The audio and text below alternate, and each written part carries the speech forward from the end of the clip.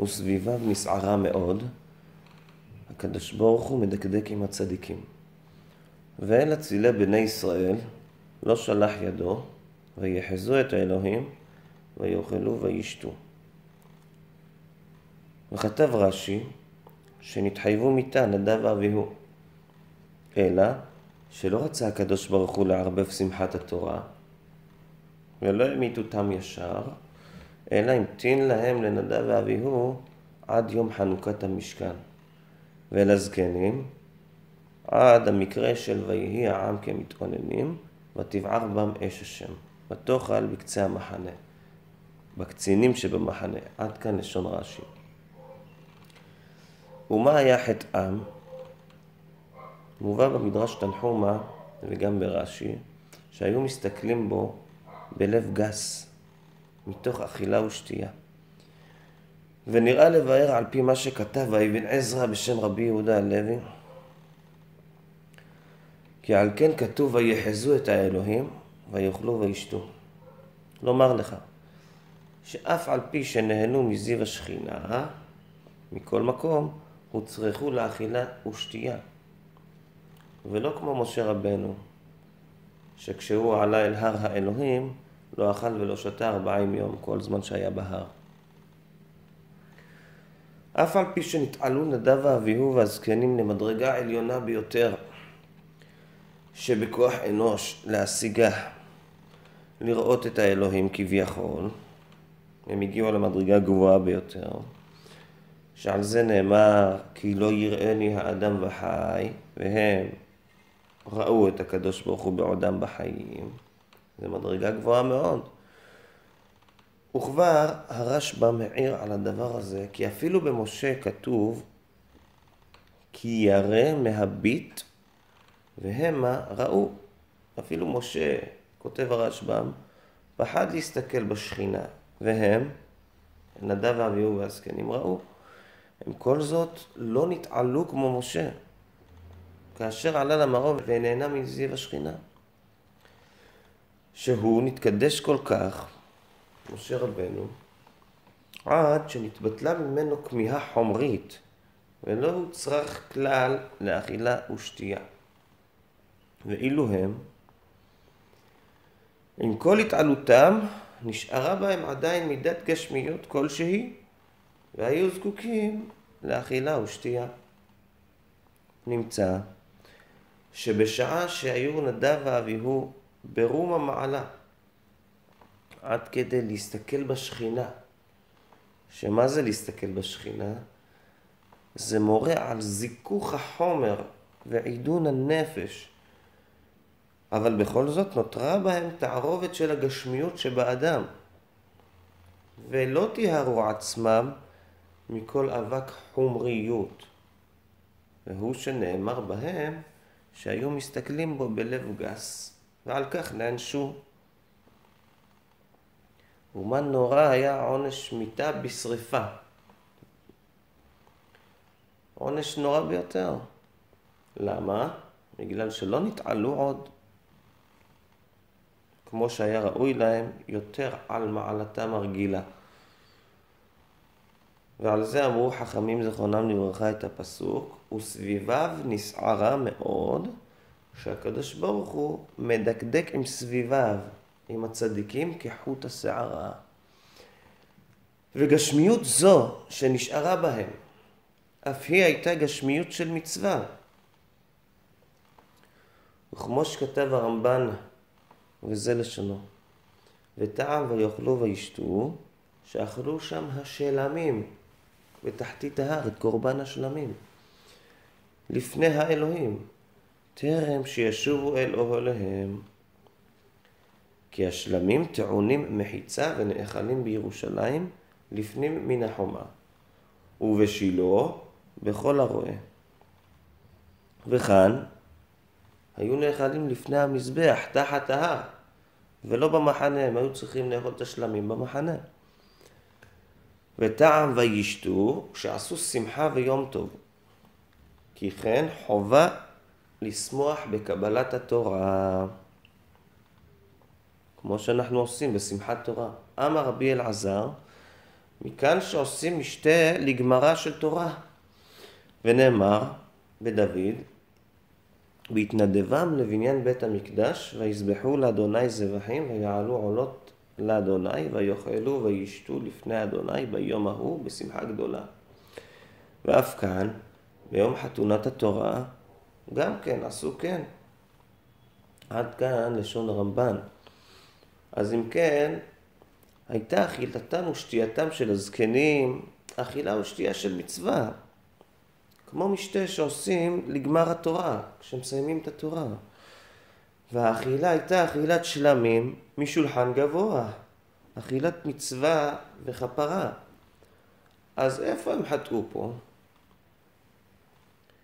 מכאן אתה למד, כי סביביו נסערה מאוד, שהקדוש ברוך הוא מדקדק עם הצדיקים כחוט השערה. אפילו בדבר שאצל אחרים הוא מצווה רבה, אצל אנשים רגילים הוא מצווה גדולה. ואדרבה, אם נמנע מכך, הרי הוא עובר על הלכה פסוקה שכתוב עושים משתה לגמרא של תורה. הלכה או מצווה זו הופכת לחטא אצל אנשים כמו נדב ואביהו והזקנים, ונתבעו על כך כחמורי חמורות, כמו על עבירות החמורות. כי להם לאנשים המיוחדים והקדושים האלה, לנדב ואביהו והזקנים, היה לשמוח בלא אכילה ושתייה. למה? אחר שהגיעו למצב של נהנים מזיו השכינה, מי מגיע למצב כזה? לא כל אדם. ומכאן גודל התביעה שנתבע האדם שמצליח ועולה במעלת התורה ויראת שמיים. אם האדם הזה יחסר משהו מהמדרגה שהוא ראוי אליה. זאת אומרת, כשאדם עולה במדרגות, למדרג, למדרגות גבוהות, אז אסור לו לחסר משהו מהמדרגות שהוא מגיע אליהן. ויחזו את האלוהים, העיר רש"י, זיכרונו לברכה, אונקלוס תרגם וחזו את יקרד אדוני ואהבו חדו בקורבנוהי להתקבלו ברעבה כאילו אוכלין ושתן. והנה, ביאור העניין עמוק מאוד ולא ניתן לכתוב. אבל המעט שיש עלינו לבאר בעניין הוא על פי מה שמובא בגמרא במעשה של רבי חנינא בן טורדיון ועל ביתו שגזרו עליה לשב בקובה של זונות שאמר רבי יוחנן פעם אחת הייתה בתו מהלכת לפני גדולי רומי. אמרו עליה, גדולי רומי, כמה נאות פסיעותיה של ריבה זו, של נערה זו, של, של הגברת הזאת. היא שמעה את זה ומיד דקדקה עוד יותר בפסיעותיה. אז המסילת ישרים מבאר על המעשה הזה שגדולי רומי שיבחו את הבת של רבי חנינה בן תורדיון, הם שיבחו אותה על צניעותה בהילוכה. שהיא הולכת צנוע, כמה נאות פסיעותיה, שהיא הולכת בצניעות גדולה. ושהיא הרגישה שהם שיבחו אותה, דקדקה בפסיעותיה יותר, ונתחזקה במידת הצניעות. ועל כך היא נענשה. למה? שהיא נהנתה מהשבח ששיבחו אותה. ומצוות אסור לענות מהם, לאו להנאה ניתנו. והיא הייתה צדיקה גדולה, ואמרנו את הכלל של וסביביו נסערה מאוד, והקדוש ברוך הוא דקדק איתה כחוט השערה, שהיא נהנתה מהמצווה. ובזה נטלה משהו לעצמה ממידת הצניעות שהייתה בה. והנוטל הנאה כלשהי לעצמו, לסוף נוטלים ממנו הכל, וזה היה עונשה שהושיבו אותה איפה שכל הפרוצות. באופן זה יש להבין את התביעה על נדב ואביהו והזקנים. שעם כל עלייתם והתקרבותם להשם באותה שעה, נטלו משהו לעצמם. והמשיך אונקלוס כאילו אוכלין ושתן. כאילו הם אוכלים ושותים. היינו, כשם שאדם אוכל ושותה הרי הוא עושה כן למען קיום הגוף, אלא שמכל מקום הוא נהנה גם כן מכך. יש לו חוש הטעם למשל, יש לו הנאה מסוימת, אפילו שהוא עושה את זה בשביל הגוף, בשביל שאדם צריך לאכול. אבל מכל מקום, על הדרך, יש לו הנאה, הנאת החייך. ואדם המחבב מאכל, מאכל מסוים, הרי לא את המאכל הוא אוהב, אלא את עצמו. מבחינת מה?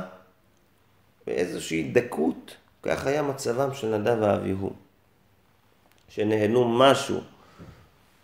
אמנם הייתה שם התעלות עצומה, אבל נתערב בגרגיר של אהבת האני. וכאן העונש החמור שנענשו, בגלל זה הם נענשו עונש חמור, כי במדרגה שלהם היה אסור להם ליהנות אפילו משהו. כמו משה רבנו, שהוא לא נהנה משהו כשהוא עלה להר סיני, לא אכל ולא שתה. ואף אחרי כן, בשעת חנוכת המשכן, שחטאו נדב ואביהו בהקריבם אש זרעה, גם אז היה חטאם באותו עניין, שכתוב איש מחתתו. וחכמים זיכרונם לברכה אמרו, מה זה איש מחתתו? איש מעצמו, ולא נטלו עצה זה מזה. כך מובא בילקוט. איש מחתתו, כל אחד חשב אך ורק על עצמו, וטיכס עצות להתקרב לקדוש ברוך הוא, אך הוא בעצמו, רק הוא בעצמו. בעזרת השם, שנתעלה במדרגות התורה והיראה, ונוכל לעמוד על המדרגה ולא נחסר שום דבר מהעבודה, ונתחשב אחד בזולתו, לרצונו יתברך ויראתו.